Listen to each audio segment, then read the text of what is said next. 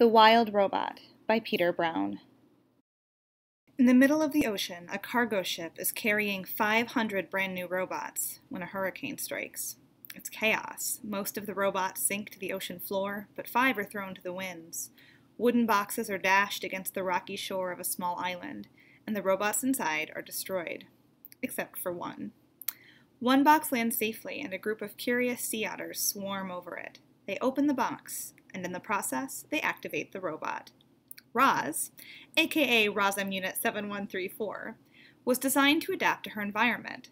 She learns to camouflage her metal body, to communicate with animals, to build fires that keep them warm.